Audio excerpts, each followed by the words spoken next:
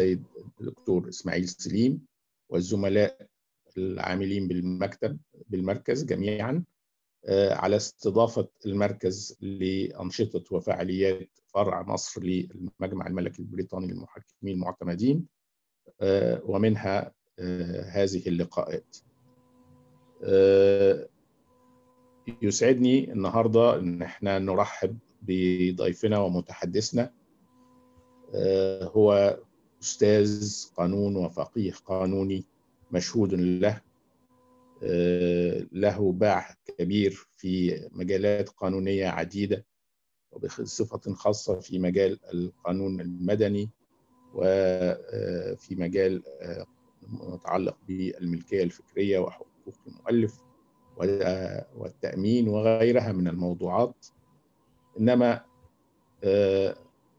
متحدثنا اليوم أستاذ الدكتور حسام لطفي بالنسبة لي يمثل أهمية خاصة واستثنائية وهو أنه أخ وصديق وزميل دراسة جمعتنا قاعات وأروقة كلية الحقوق جامعة القاهرة من سنة 1974 إلى 1978 عندما تخرجنا سويا وكل منا سلك طريقه في الحياة إنما بالرغم من ذلك كانت تجمعنا دائما محطات ولقاءات كثيرة وحافظنا على هذه الصداقة والزمالة لما يزيد على الأربع عقود دلوقتي.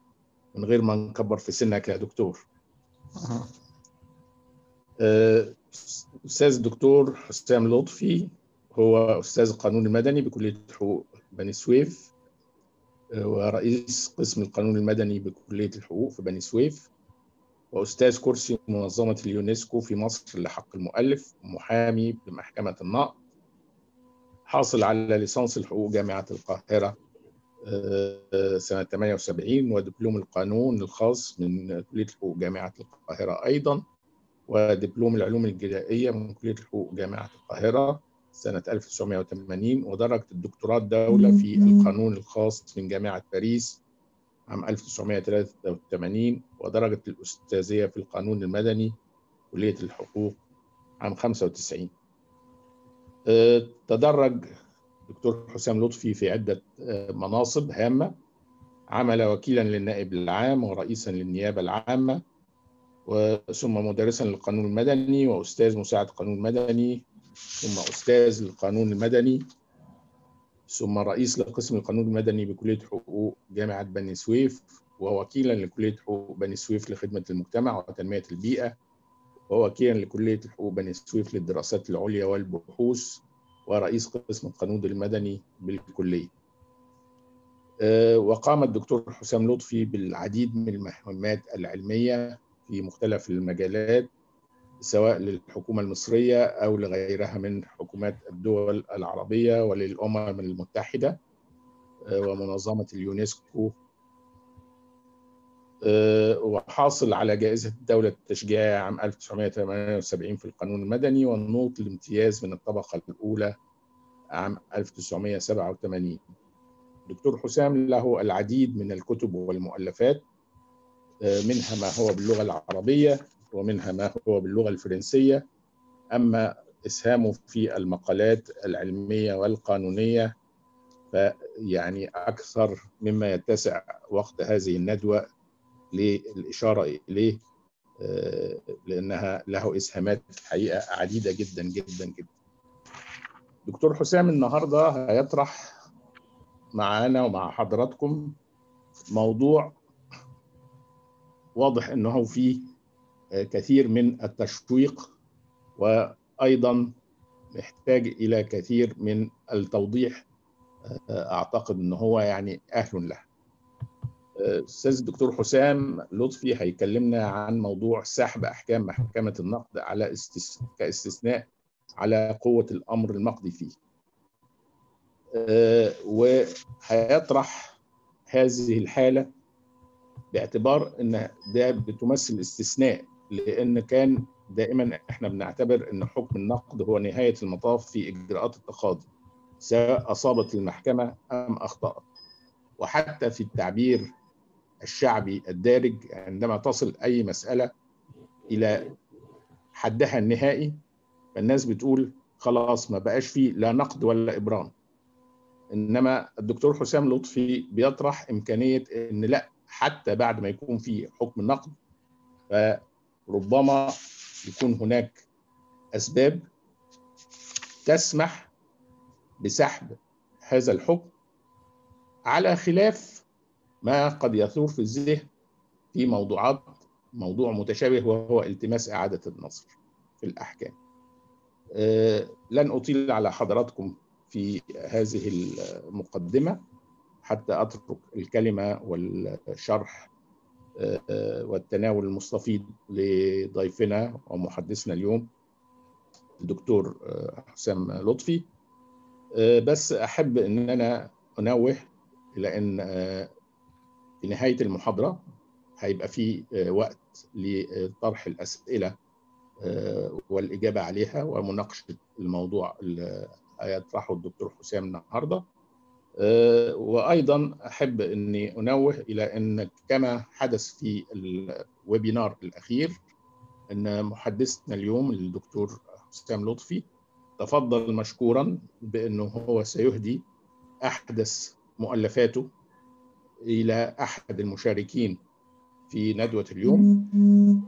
سيتم اختيار الشخص اللي سيهدى إليه هذا الكتاب عن طريق اختيار قرعة عشوائية بيقوم بها قسم ال IT في مركز القاهرة من خلال كل المشاركين. الكتاب المهدى اللي هيكون من حظ وشرف أحد الزملاء إن هو يحصل عليه من الدكتور حسام لطفي هو كتاب بعنوان الأحكام العامة لعقد التأمين دراسة مقارنة بين القانونين المصري والفرنسي وهذه هي الطبعة الثامنة والأخيرة التي صدرت مؤخرا في 2021 يعني لسه خلال الأيام القليلة الماضية. فالشكر جزيل للدكتور حسام على هذا الإهداء وبعد إذن حضراتكم نستمع الآن إلى محاضرة الزميل الأستاذ الدكتور حسام لطفي فليتفضل. شكرا سيدي الرئيس. سعادة كبيرة أن أكون اليوم ضيفا على حضراتكم وتحت رئاسة السفير محمد مصطفى كمال وهو صديق عزيز كما قدم ووضح وزميل دراسة على مدار سنوات طويلة. ولا ولا, ولا أقول أنه أكبر مني في السن أو أنا أصغر منه في السن فنحن أبناء دفعة واحدة. يعنيني في الحديث عن هذا الموضوع. أنا متابع ردود الأفعال اللي صاحبه الإعلان عن المحاضرة إن البعض بتتداخل عنده المفاهيم بين مصطلحات كثيرة جدا محكمه النقد بتطرحها عليه وعارفين القانون في البلاد العربية أو في مصر بيستخدمها. فمثلا إحنا عندنا المفروض طبقا للقانون عندنا الدرجات ابتدائي واستئناف ونقد أو تمييز في من البلاد العربية. بعد صدور حكم التمييز لا نستطيع أن نعيب الحكم إلا بدعوى بطلان أصلية ودي تتطلب توافر أحد احدى حالات الصلاحية لدى القاضي في خارج نطاق الحديث اليوم. النقطة الثانية التماس إعادة النظر وده بيكون في حالات محددة نص عليها قانون من بينها أن تكون هناك ورقة جديدة لم تكن مطروحة على المحكمة من قبل فتقبل عدالة أن تستمر قوة الأمر النقدي قائمة مع وجود ورقة تقلب الموازين. ما يعنينا الآن هو سحب أحكام محكمة النقد بالمصطلح الدقيق جدا. الحقيقة أنا طرح عليا في الأول أو أنا ببحث الموضوع قعدت أبحث ظللت فترة طويلة أبحث عن المسمى دقيق. هل هو رجوع محكمة النقد عن حكمها؟ هو سحب لمحكمة النقد لحكمها النقد لحكمها أو عدول محكمة عن حكمها. الحقيقة في نهاية المطاف اهتميت جدا بفكرة إن أنا أستخدم مصطلح سحب. لأن إحنا كرجال قانون في في الفقه الإداري فقه القانون العام نقول سحب القرارات الإدارية. إذا سحب القرار الإداري زال ما كان له من أثر واعتبر كأن لم يكن. ف والقرار الإداري ممكن نشبهه هنا بالح... أو نقيسه على الحكم القضائي إن محكمة النقد رغم قوة الأمر النقدي فيه بتقرر بتجتمع بناء على طلب من أحد اخصام الدعوة بيقدم طلب لا إما في صورة طلب باسم رئيس محكمة النقد أو عريضة طعن بالنقد. يعني دول الطريقتين الوا... الوا... الممكن اتباعهما في مخاطبة محكمة النقد. إذا وصل الأمر لمحكمة النقد محكمة النقد بتعرض الملف على الدائرة التي أصدرت الحكم. هي الدائرة التي أصدرت الحكم بتدعو الأطراف وتبدأ في البحث عن سبب لسحب الحكم. هنا بنقف عند النقطة ما هي الأسباب التي تبرر السحب؟ حد لحضراتكم في البداية تجربتي الشخصية. أنا تجربتي الشخصية إنه الموضوع أنا واخده من زاوية القانون المدني أنه استثناء على قوة الأمر المقضي فيه. إحنا بندرس المادات بندرس حجية الأمر المقضي فيه وقوة الأمر المقضي فيه. الحجية لها استثناء عليها استثناءات إنما القوة لم نكن نعلم أن أن أن هناك استثناءات ترد عليها. وفوجئنا بأن هناك استثناء جديد من واقع محكمه النقد من فترة طويلة وكان الغرض الأساسي هو أن العدالة تأبى أن نحتفظ بحكم ليس له أصل ثابت في الأوراق.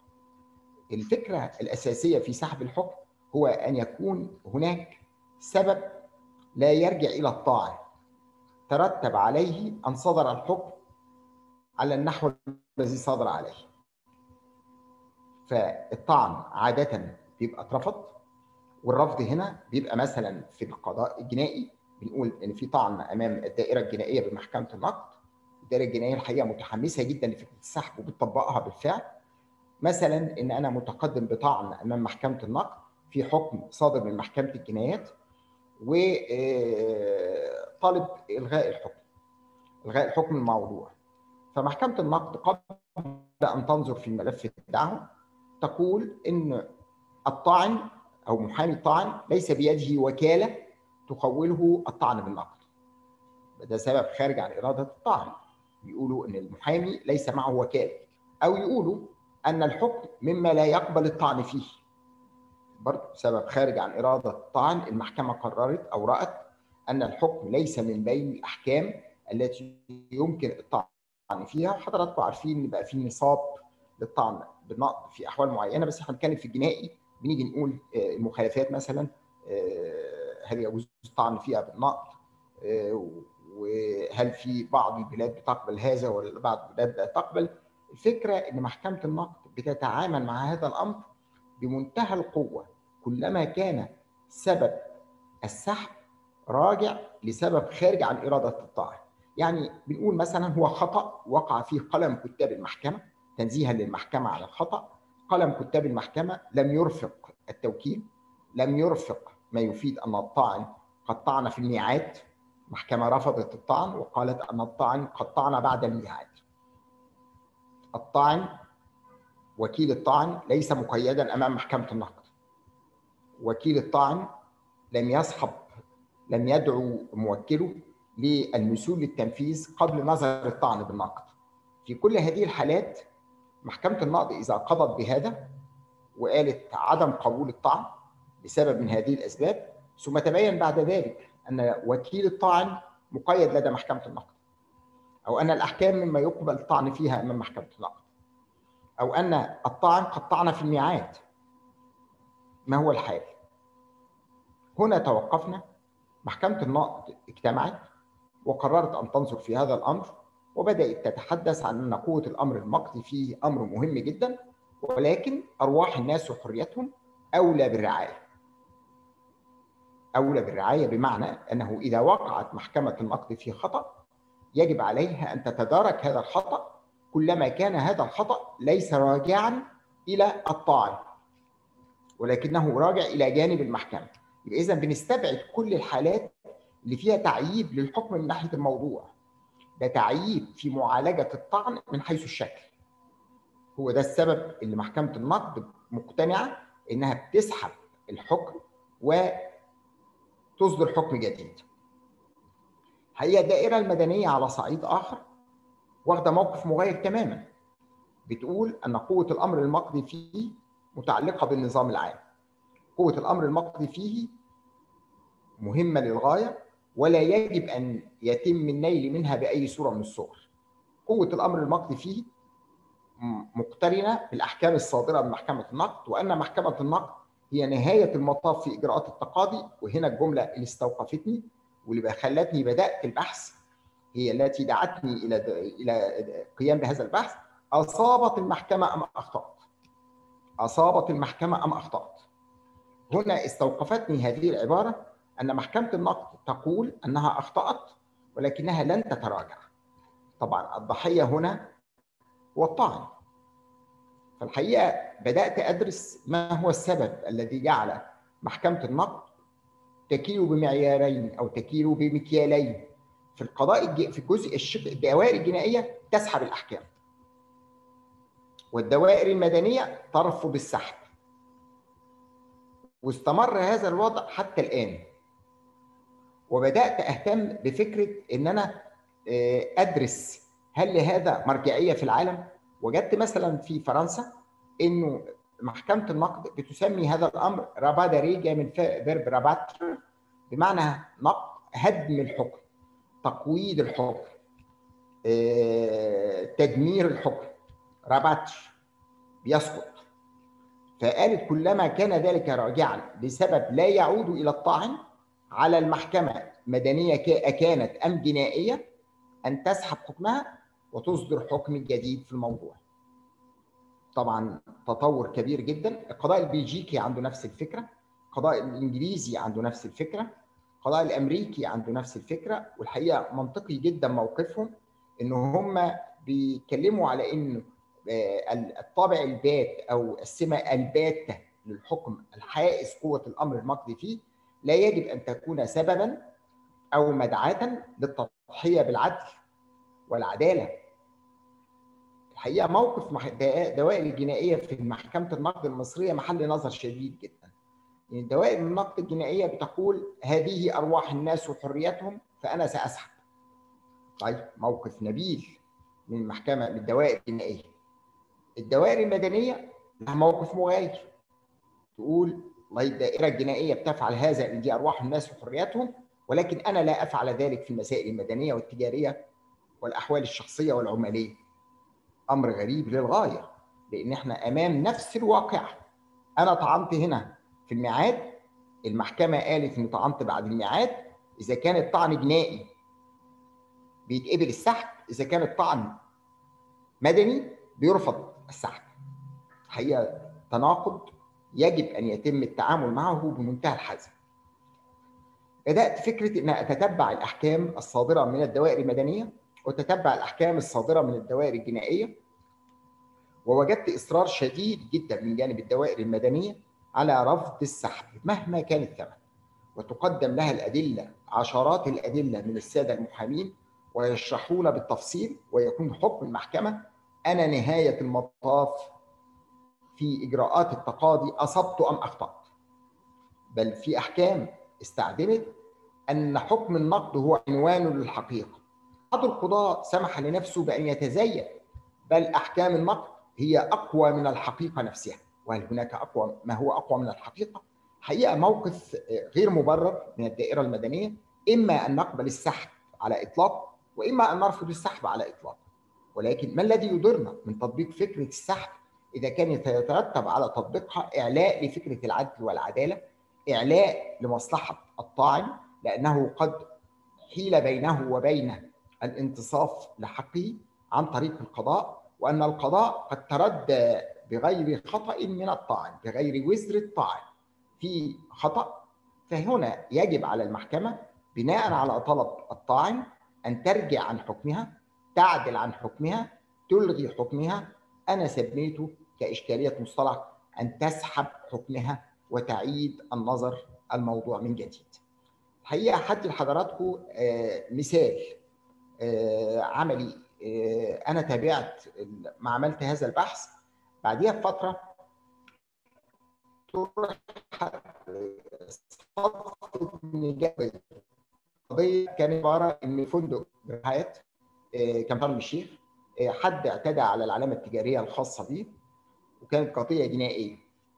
وفتح مكتب سياحة في شارع سليمان باشا بوسط القاهرة وسمى المكتب Hyatt Tours of America فشركة Hyatt ومقرها في ألمانيا انزعجت جدا من هذا الأمر وأبلغت شرطة التموين وشرطة التموين قامت باتخاذ إجراءاتها والضبط وتقديم الواقعة بمحضر للنيابة العامة درجة أولى ثم امام النيابة العامة ثم طرح أمام القضاء وفوجئنا بحكم القضاء محكمة الجنح أن المتهم تقدم بشهادة ميلاد والدته السيدة حياة وقال أنا لم أعتدي على علامة حياة ولكن أنا متمسك باسم السيدة والدتي وهي عزيزة على قلبي جدا فأنا أطلقت اسمها على مكتبي اسمه Hyatt Tours of America بناء عليها المحكمة ابتدائي ثم استئناف برأته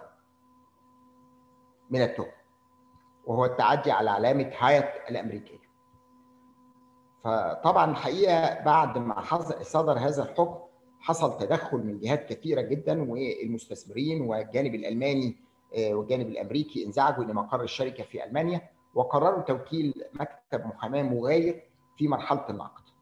ووقع علي الاختيار لحسن الحظ لأنه وصلني إلى إن أنا بحاضر لحضراتكم في الموضوع ده دلوقتي. وقع علي الاختيار أخذت الملف قرأته بعناية وجدت أنني أمام قضية متميزة للغاية أستطيع أن أثبت فيها أمام القضاء أن المتهم الذي حصل على البراءه قد حصل عليها دون وجه حق. فتوجهت لمحكمة النقد وكان أول طعن بقوم به في حياتي بقر بنفسي أمام محكمة النقد من حوالي أكثر من ربع قرن. الحقيقة رحت لمحكمة النقد وبدأت أتتبع السوابق بتاعتها في مجال العلامات التجارية من خلال المكتبه عندها ومن خلال المجموعات اللي كانت منشورة لم تكن ميسور لم يكن ميسورا الحصول على الأحكام كما هو الحال الآن. المهم انتهى المطاف إلى أن لدي قضية جيدة جدا وقبلت أن أتولى الدفاع وتحدثت مع الشركة المالكة وقبلت الطعن. قبلت إن أنا أتعاون معهم في الطعن.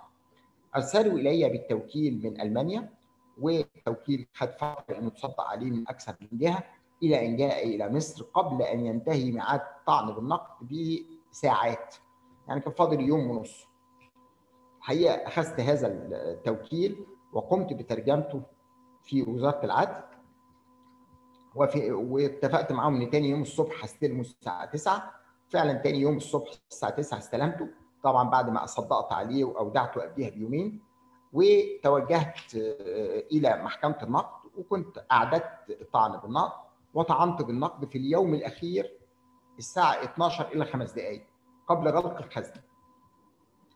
وأخترت الشركة الأجنبية بأنني قمت بالطعن في الميعاد وأرسلت لها نسخة من صحيفة الطعن بالنقد وجالي الرد إن هم سعداء جدا بالكلام اللي مكتوب ده بالعربي وبعتنا لهم نسخة باللغة الإنجليزية وكانوا سعداء بما هو مكتوب وانتظرت تحديد جلسة. حكم صادر بالبراءة مفيش عجلة لمحكمه النقد في نظره تابعنا المحكمة على مدار حوالي سنتين إلى أن تحدد ميعاد لنظر الطعن بالنقد ثم فوجئنا يوم الطعن إن الحكم صدر بعدم قبول الطعن لأنني لم أتقدم بوكالة عن الشركة الطاعنه. طبعا انزعجت جدا تقدمت بشكوى إلى رئيس محكمة النقد في ذلك الوقت وكتبت في الشكوى إنني لا أتدخل في عمل المحكمة ولكن سمعتي كمحام هي الآن معرضة للخطر. أنا تعاقدت مع شركة أجنبية والتزمت بأن اطعن في الميعاد وطعنت في الميعاد وترجمت الوكالة وقدمت الوكالة وعندي الدليل إن قلم كتاب المحكمة ولهذا السبب قلت إن ده كان أول طعن أقوم به فحرصت على أن أستوقع كاتب محكمة النقد على أنه تسلم أصل التوكيل وطلبت منه أن يوقع ويختم جنب التوقيع والرجل الحقيقة وجد إن أنا متوتر لأن قضية مهمة جدا فقبل وفعل. فتوجهت لرئيس محكمة النقد ومعايا الورق التي تفيد أن كاتب المحكمة قد تسلم مني الطعن وتسلم مني أصل الوكالة وكاتب إني تسلمت أصل الوكالة. الحقيقة رئيس محكمة النقد كان متجاوب جدا وقال لي أنا كل أقصى ما أستطيع أن أفعله أن أكتب عرض على الدائرة التي أصدرت الحكم. وبالفعل حددت لي جلسة بعد سنتين ونص تقريبا من حكم البراءة. وذهبت إلى المحكمة طبعا الخصم ما حضرش إنه مجاله ما يفيد إن في طعن بالنقد لم يصدق إن هو واخد بالفعل حكم بعدم قبول الطعن شكلا منذ سنوات فاعتبر أن هناك خطأ فلم يحضر حضرت منفردا والحقيقة الدائرة كانت مرحبة جدا بالفكرة وطلبوا مني إني أجلس وأشرح القضية بالتفصيل واستمعوا لي على مدار أكثر من نصف ساعة. شرحت القضية بالتفصيل وقلت إنني لا حضرت حضرت الان للدفاع عن مصلحة موكلي ولكن أنا لي مصلحة شخصية في هذا الطعن. فإذا شاءت محكمة النقد أن ترفض الطعن المقدم مني فهذا بمثابة حكم بالإعدام على سمعتي كمحامي ورجل مهني محترف. إنما إذا شاءت محكمة النقد أن تنظر في الطعن وتراجع أن هناك خطأ وقع من المحكمة وهو راجع إلى سبب لا لا يدي لي فيه شخصيا لكنه خطأ من قلم كتاب المحكمة فسأكون ممتنا لها جدا. وبالفعل حجزت الدعوه للحكم وبالفعل صدر حكم من الدائرة الجنائيه في محكمة النقد بناء على طلب مني كمدعي بالحقوق المدنية. دي أول سابقه في تاريخ محكمة النقد ولم يحدث أن قدم طلب مماثل. حتى الآن أتمنى إن الكلام ده يحصل. والكلام ده نركز عليه كلنا. وقدمت الطلب خدت نسخة من الحكم. والحكم واضح تماما انه بيقول زي ما حضراتكم موجود في البحث عندكم بيانات الحكم وبيانات القضية. أول واقعة في تاريخ محكمة النقد يتم سحب فيها حكم بالبراءة وإدانة المتهم بعقوبة سالبة للحرية وتعويض مدني. طبعا كان بالنسبة لي انتصار كمحامي إنما الموضوع ده زود عندي يقين إن يجب أن أتابع فكرة سحب الأحكام ويجب ألا تضيع هباء. في فترة الإعداد وانتظار حكم النقد كان البحث ده بيكتمل وبيكتب وأنا بعد ومهتم جدا وفي ذلك الوقت كانت الأحكام الفرنسية والحصول عليها والأجنبية والأمريكية والبلجيكية ما كانش سهل الحصول عليها الإنترنت ما كانش بدأت تشتغل وبقينا نحصل على الأحكام بسهولة أكثر ويسر أكبر. فكانت بتيجي الأحكام عن طريق الفاكس وكانت بتبقى ساعات كبيرة والفاكس كان يقطع وما توصلش نسخة الحكم كاملة واطلب من الشخص اللي أرسلها يرسلها لي مرة ثانية. المهم إن أنا وضعت كل إمكاناتي العلمية في أن أدافع عن هذه القضية في بحث علمي والحقيقة بعد صدور البحث العلمي سعدت جدا بمكالمة من رئيس محكمة النقد كرئيس المكتب الفني لمحكمة النقد في ذلك الوقت وقال لي انه بيكلمني بناء على طلب من رئيس محكمة النقد وده كان قبل ما الطعن بالنقد الذي قدمته يقدم. وقال لي إن رئيس محكمة النقد مهتم جدا بالبحث اللي أنت عملته وإن إحنا عايزين ننشره في مجلة القضاه وبالفعل نشر البحث في مجلة القضاه وحرصت قبل نشره إني أستطلع رأي فقيهين متخصصين بحكم إن أنا أستاذ قانون مدني توجهت إلى أستاذ كبير جدا واسم متميز في مجال فقه المرافعات وهو أستاذنا العظيم الدكتور وجدي راغب في جامعة عين شمس واديته نسخة من البحث. هي بعد 24 ساعة كلمني وقال لي إنه سعيد جدا بهذه النتيجة وإنه سعيد بالبحث وأنه يوافق تماما على كل ما قلته. وقدمت نسخة من البحث لأحد رؤساء محكمة النقد متقاعدين والحقيقة تفضل مشكورا بقراءته ومراجعته والحقيقة كان سعيد جدا بالنتيجة وقال لي أنا لا أفهم أن محكمة النقد تقول أن حكمي هو نهاية المطاف في إجراءات التقاضي وأن حكمي أصبت أم أخطأت وأن حكمي هو عنوان للحقيقة بل هو أقوى من الحقيقة نفسها وهي تعلم علم اليقين أن هذا الحكم ليس صحيحا وأنه قد صدر بناء على خطأ تردى فيه قلم الكتاب أو تردى فيه المستشار المقرر القاضي المقرر في المحكمة بعدم بأن المتهم لم يتقدم للتنفيذ. طبعا عارفين في الجنائي بتتقبل. في المدني إحنا بنتكلم بقى على إن أنا رفعت دعوة قضائية بطالب بتعويض والتعويض والدعوة التعويض الطعن يرفض فنتساءل لماذا رفض الطعن بالنقد؟ يقال أن انك لم تودع التوكيل أو أنك لم تطعن في الميعاد. أو أنه ليس بيدك وكالة تجعلك تمثل تجعلك تمثل هذه الشركة تحديدا أو الطاعن تحديدا. فالحقيقة كتبت البحث وانتهيت في نهاية المطاف. انتقدت الموقف الحالي اللي فيه نوع من الشذوذ والتعارض في الفكر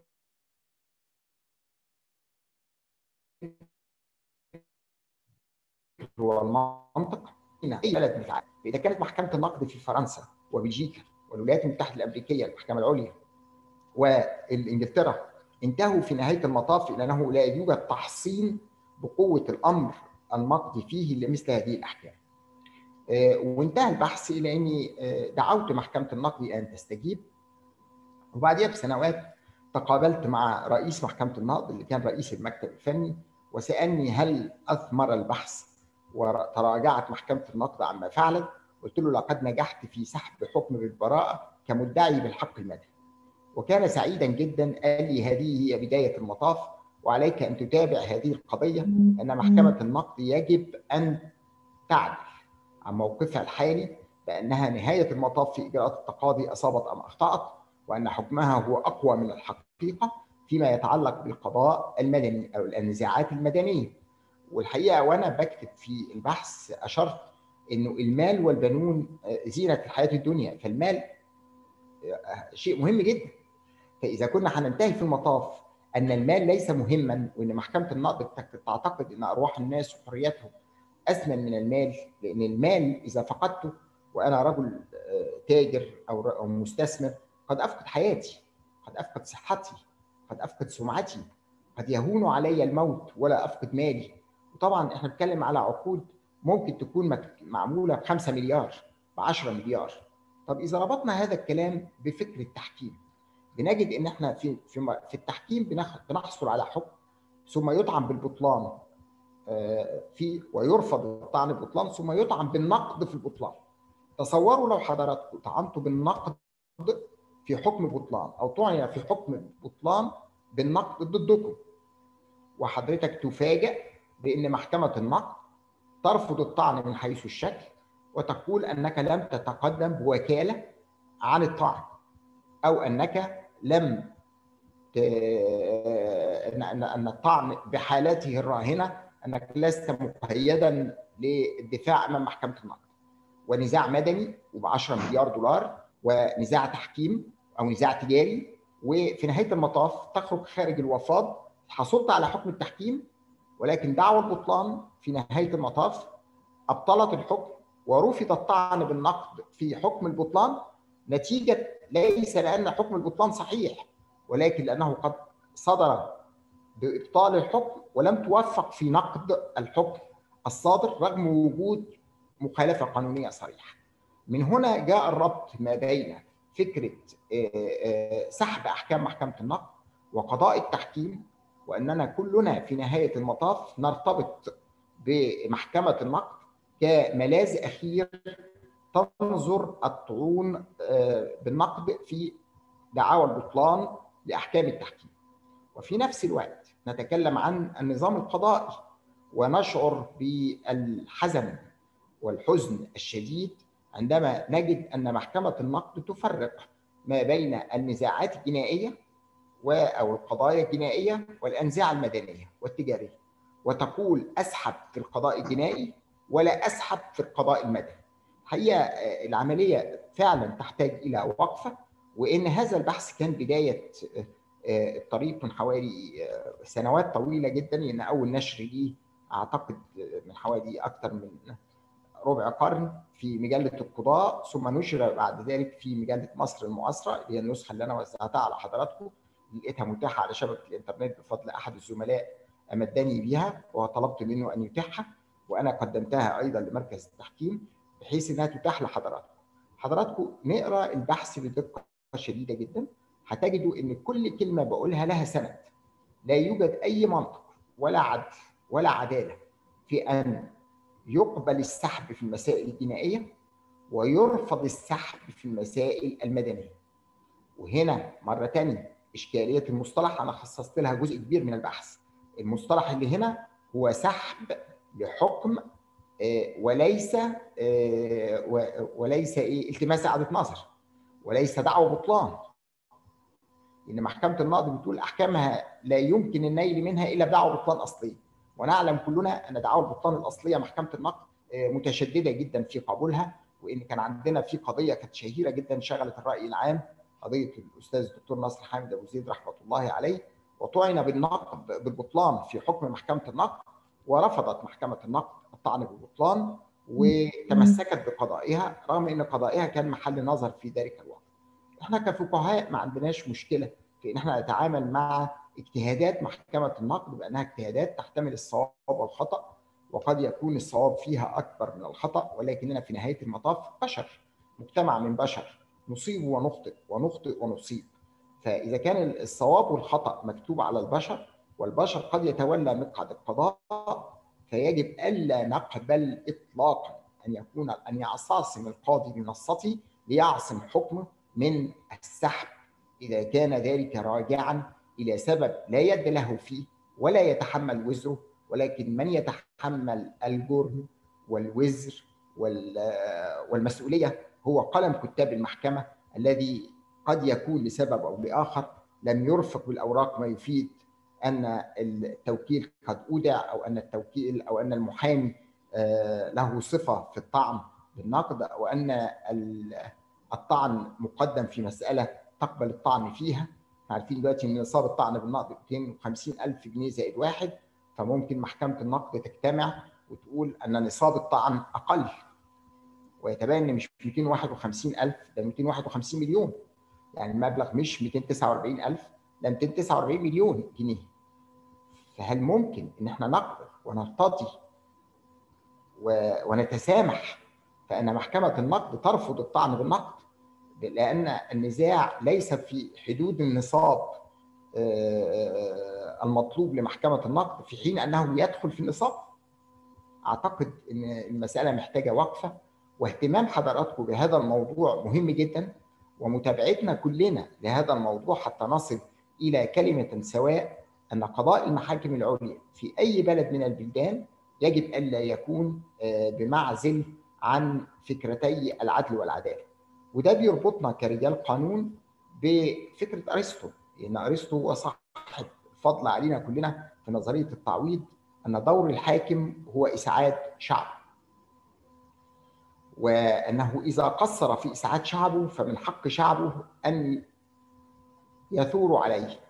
وإذا ثار عليه يمكن أن يسقطه ولكن لا يسقط الدولة. لأن وجود الحاكم في السلطة مقترن برضاء المحكوم بقضاء الحاكم. فيبقى اذا الحاكم يقضي ويقرر وله قاضي يمثله يمثل نظام قانوني في الدولة. ويرأسه القاضي فإذا القضاء تمسك واستعصم برفض الطعن الطعون بالنقد في أحكام يعني تستوجب السحب أعتقد إن فكرة الترضيه القضائية الراني دي سوف يعطيك ربك فترضى لأعلى مرتبة من مراتب التعويض. سوف يعطيك ربك فترضى. إحنا لازم نقول أن الترضيه القضائية التي يعرفها فقه القانون الانجلو امريكي والتي فشل النظام اللاتيني في أن يتعامل معها بجدية على مدار عقود ولكن اهتموا جدا في الفترة الأخيرة وبدأ في اتجاه إلى التوحيد بين قواعد المسؤولية العقدية والمسؤولية التقصيرية وإن لا يتصور أن يكون المضرور في المسؤولية التقصيرية يحصل على تعويض أكبر مما يحصل عليه في مسؤولية عقدية. يعني غير منطقي إن أنا مرتبط بعقد فلا أستطيع أن أطالب إلا بضرر مباشر متوقع.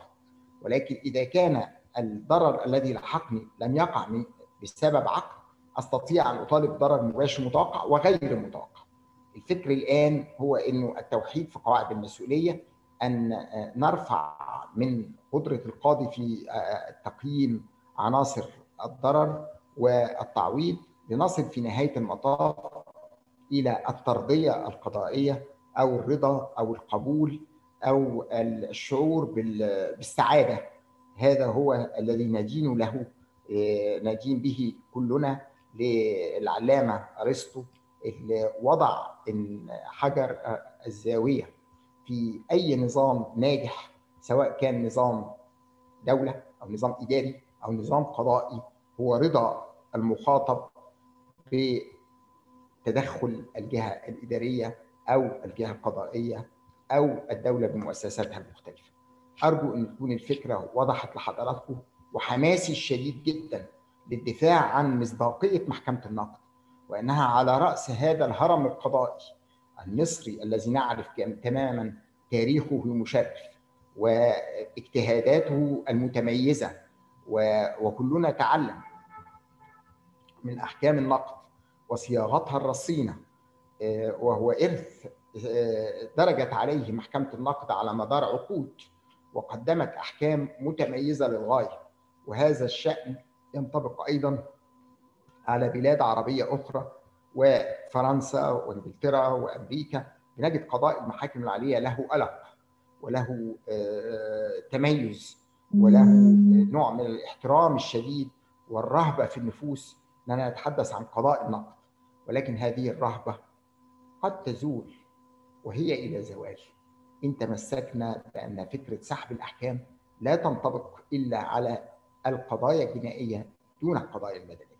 أشكر حضراتكم لحسن المتابعة ومتاح لأي أسئلة من جانب حضراتكم.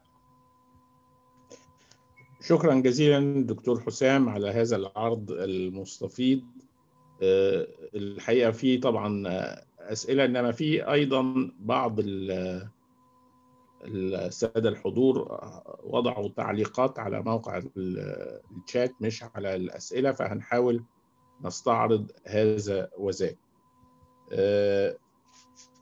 في سؤالين بيدوروا في نفس الفلك.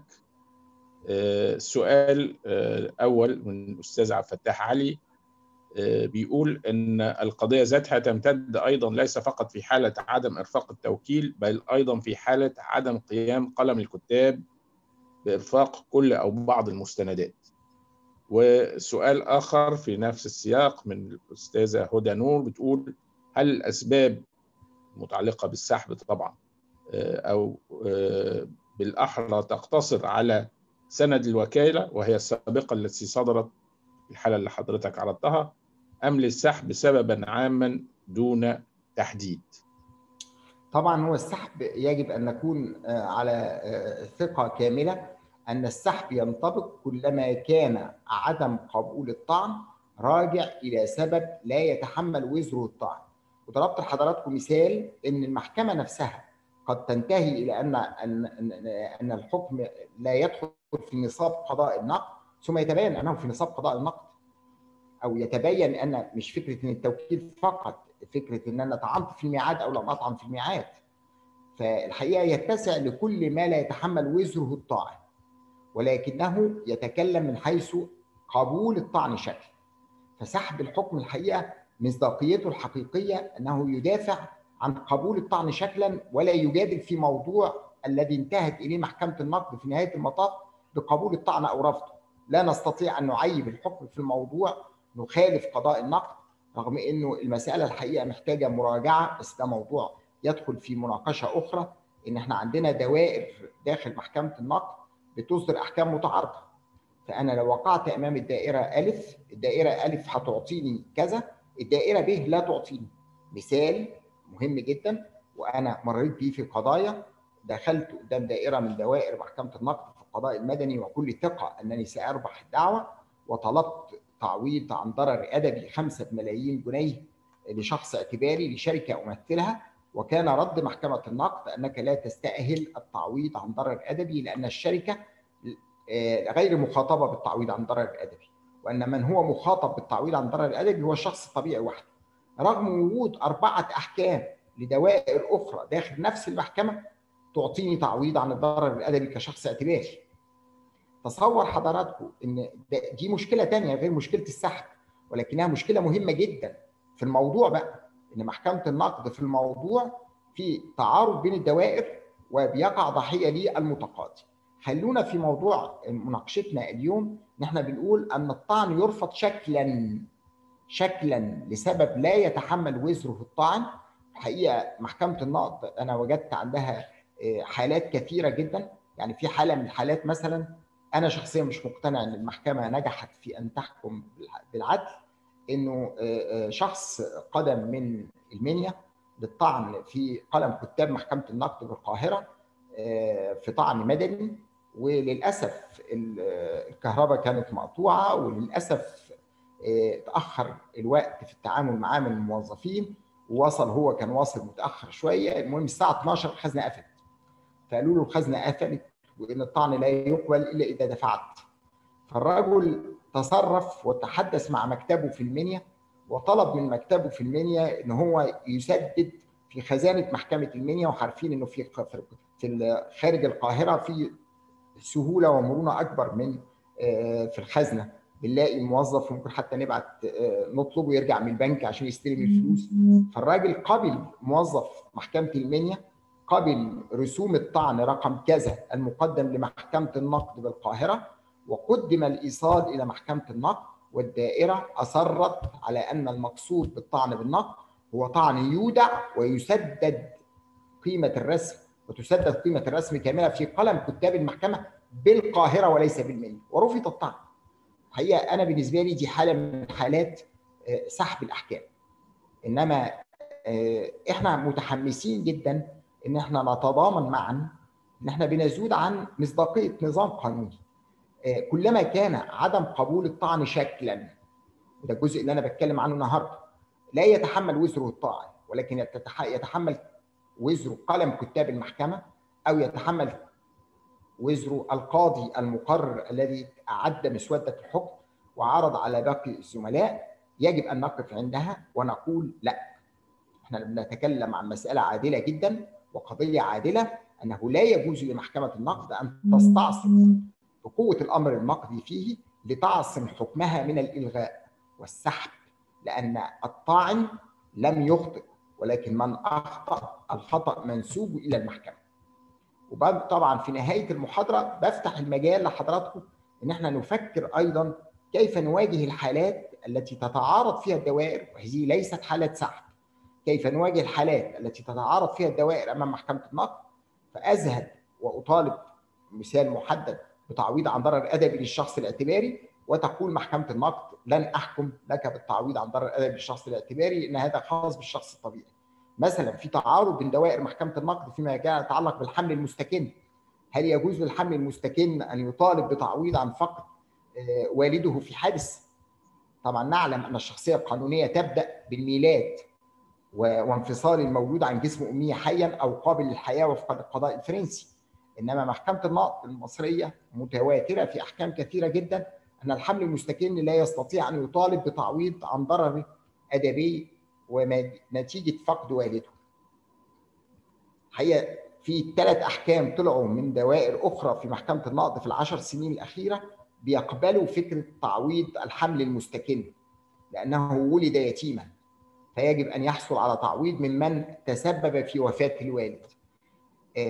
أنا لما بروح لمحكمة النقد وقعت أمام قاضي من أصحاب الرأي الأول وقعت وسعادة السفير راح قدام قاضي من النوع الثاني من الدائره الثانية هو حصل على حكم وأنا لم أحصل على حكم ده مسألة دي مسألة ثانية يجب أن نتفرغ لدراستها ونتعامل معها لأن مصداقية النظام القضائي على المحك وإن إحنا بندافع عن مصداقية محكمة عليا ننظر إليها بالإعجاب ننظر إليها بالتقدير نتعلم منها ندرس أحكامها باهتمام شديد جدا نترقب أحكامها التي تصدر وندرسها دراسة جيدة ولكن لا يجب أن يمنحول هذا بيننا وبين أن نطالب بأن يعود الحق إلى أصحابه وأن تطبق فكرة العدل والعدالة بميزان من ذهب تكال بمكيال من ذهب وتنطبق السكين تقطع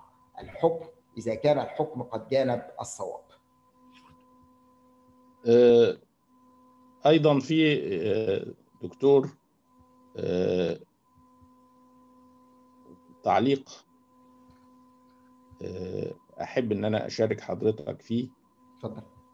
بيقول الأخ اللي كاتب التعليق بيقول مدى انطباق اعتبارات سحب الحكم مع القاعدة المقررة في الفقه الإسلامي بقول سيدنا عمر رضي الله عنه ولا يمنعنك قضاء قضيت فيه اليوم وراجعت فيه لرشدك أن تراجع الحق فيه فإن مراجعة الحق خير من التمادي في الباطل. خلي بال حضرتك وطبعا سيدنا عمر هو سيدنا عمر لست في مجال الحديث عنه ولكن كلنا نتعلم منه. لكن سيدنا عمر هنا بيتكلم عن التمادي في الباطل في حالات أخرى. إنما لو أنا كقاضي حكمت برفض دعوة مدنية وقلت لك لست صاحب حق وأدركت أنني قد أخطأت ما هي الحالات الموجودة في الفقه الإسلامي؟ أساتذتنا في الفقه الإسلامي يقولوا لنا إن القاضي بعد ما أصدر حكم برفض دعوة تعويض أو ما أصدر حكم بتعويض 100 ريال أو 100 درهم أو 100 جنيه ورجع تاني قال لا أنا هحسب 100 مليون أنا على حد علمي مش موجود إنما سيدنا عمر في الحديث المنسوب إليه رضي الله عنه وأرضاه بيتحدث عن فكرة التمادي في الخطأ لا يجب أن يمنعني قضاء من أنني أعدل عن قضائي في أي مرحلة لاحقة إذا وجدت أنه أقرب إلى الرشد وأقرب إلى الهدى وأقرب إلى العدل وأقرب إلى العدالة. إنما في نهاية المطاف نحن نتحدث عن قضاة من بشر ويجب أن نتعامل معهم بمنتهى الحرص. كل الاحترام والتقدير وسبب هذه المحاضرة هو الحرص على هذه المنصة العالية وأن نبعد عنها فكرة الهجوم الذي يحدث من كثير من الأشخاص ويقول أنني لم أرتكب خطأ لقد استقدمت أعظم المحامين وتابعت القضية بنفسي وحضرت الجلسات وطعنت في الميعاد ثم فوجئت بأن المحكمة قضت بأن طعني غير مقبول والطعن كان يتعلق بثروتي التي تتمثل في 500 مليون دولار استثمرتها على مدار عقود طويلة إرث العائلة وشركة فيها أموال من أصدقاء كثيرون أعطوني الأموال وأولوني الثقة ثم فوجئت بأن الطعن قد رفض لأنني لم أطعن في الميعاد ولم أتقدم بسند الوكالة أو لم أتقدم بسند الوكالة. هل ده مقبول؟ لا أعتقد أن من بيننا من سيدافع عن هذه القضية لأنها قضية في نظري محكوم عليها بالفشل في نهاية المطاف إذا إحنا دافعنا عنها. لأن العدل والعدالة يأبى كل منهما أن ننتهي في نهاية المطاف إلى أن قاعدة محكمة النقد هي نهاية المطاف في إجراءات التقاضي أصابت أم أخطأت. وإن حكمها هو عنوان للحقيقة بل هو أقوى من الحقيقة نفسها وهم. يجب أن يسقط ويجب أن نتعامل معه خصوصا إن موضوع المحاضرة بيتكلم عن قبول الطعن شكلا. ربما يعني سؤال أخير نختتم به دكتور حسام. هو السؤال الحقيقة بيجمع عدة أسئلة من عدد من السادة الحضور. كلها بتدور في إطار واحد حضرتك في ما تفضلت به واضح منه إن هناك موقف للدوائر الجنائية بيقبل بسحب الأحكام وهناك موقف وإصرار من الدوائر المدنية بعدم سحب الأحكام وإن الحكم النقد هو زي ما ذكرت عنوان الحقيقة فيما قضى به أو ربما أقوى من الحقيقة. السؤال بيدور في إيه هو الحل اللي ممكن يخرجنا من هذه الإشكالية؟ هل هو الحل من خلال حل تشريعي؟ يضع حل ومبدأ عام لهذه الإشكالية؟ أم إن هناك فكرة أخرى برضو مطروحة؟ ودي كانت في ذهني وأنا بستمع لهذه المحاضرة. لماذا لا تكون هناك دائرة لتوحيد المبادئ في محكمة النقد كما هو الحال في المحكمة الإدارية العليا في مجلس الدولة؟ عندما تصير دوائر محكمة النقد إلى الاختلاف في الرأي في موضوعات تبدو فيها قدر كبير من التماثل لماذا لا تكون هناك هذه الدائرة لتوحيد المبادئ فتضع مبدأ واحد تسير عليه كافة دوائر محكمة النقد؟ هو ده موجود يا سعاده السفير بالفعل في محكمة النقد ولكن المشكلة إن إحنا ندعو جميع الدوائر بعدد هائل من السادة المستشارين ويتفقوا جميعا على رأي واحد. الحقيقة حالات توحيد المبادئ اللي هي عن طريق دوائر مجتمعة سواء الدوائر المدنية أو الدوائر المدنية والجنائية مجتمعة لا إما مدنية لوحدها لا إما جنائية لوحدها لا إما مدنية وجنائية مجتمعة حالتها قليلة جدا في تاريخ محكمة النقد. وإن كانت تحقق إلى حد كبير مصداقية أعلى للنظام القضائي وأنا سعيد بيها جدا خصوصا إنها بتتم بمبادرة داخلية من محكمة النقد إنها تقول أن العدالة لا تستقيم أن بعض الدوائر تحكم ذات اليمين وبعضها يحكم ذات اليسار. إنما النقطة اللي أنا بتكلم عنها النهارده اللي عايز نديها التركيز الأكبر هو هل هناك من بين الحضور من يقبل أن تعتصم محكمة النقد بقيمتها وقوتها وقدرتها ومكانتها الأدبية لدينا ومكانتها القانونية والقضائية لتعصم حكمها من السحب؟ إذا كان سبب السحب راجع لخطأ لا يتحمل وزره الطارئ لا أعتقد أن من بيننا من سيدافع عن عدم قبول الطعن شكلا. يجب إنه إذا كان حكم بعدم قبول الطعن شكلا يجب أن نتنبه إلى أنه يجب أن يكون هناك فعلا خطأ من الطاعن من ناحيه الشكل إنما إذا كان الطاعن لم يخطئ هل تملك المحكمة أن تخطئ وتحمي نفسها بأنها لا تعيد النظر فيما قالت؟ طب إذا كانت المحكمة من حقها أن تقوم بهذا الأمر فلماذا قبلت الدوائر الجنائية؟ ولماذا ترفض الدوائر المدنية؟ قد يكون الحل زي ما حضرتك تفضلت بتعديل تشريعي يلزم محكمة النقد بسحب أحكامها وزي ما فرنسا بتقول كلما كان الخطأ لا يتحمل وزره الطاعن وده هيوسع في الحالات التطبيق وهيتيح مجال لعدالة أفضل وعدالة أقوى وعدالة أكثر احتراما وأكثر تقديرا وأكثر توقيرا في النفوس. في النهاية لا يستعني إلا أني أشكر أخي وصديقي وزميلي أستاذ الدكتور حسام لطفي على ما تفضل به على هذه المحاضرة القيمة واللي فتح بها أفاق للتفكير ولطرح موضوع في غاية الأهمية.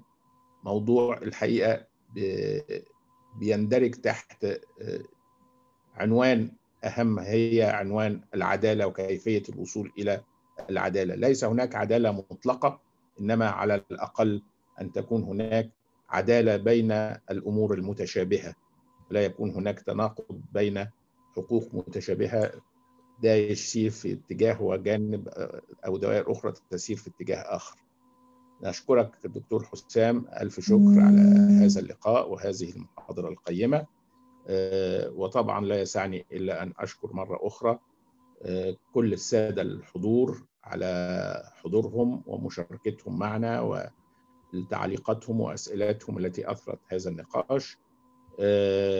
وأيضا الشكر موصول للزملاء في مركز القاهرة الإقليمي للتحكيم التجاري الدولي على كل ما قدموه لنا من دعم لوجستي وفني من أجل إنجاح هذا اللقاء. شكرا لكم. دمتم بخير وإلى لقاءات أخرى بإذن الله. السلام عليكم ورحمة